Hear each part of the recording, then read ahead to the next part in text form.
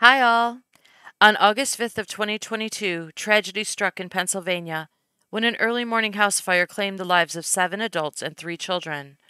A firefighter responding to the scene realized as his truck turned onto the street that the house on fire belonged to his family. Three people were able to escape, but ten more were not.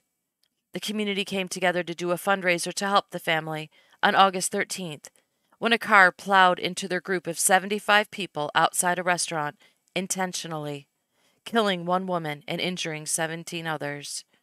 Then the driver sped to his mother's house and beat her to death with a hammer. He told police he was tired of fighting with his mother over money, and as he drove to her house to kill her, he saw the group of people outside and decided to mow them down. Thanks for listening.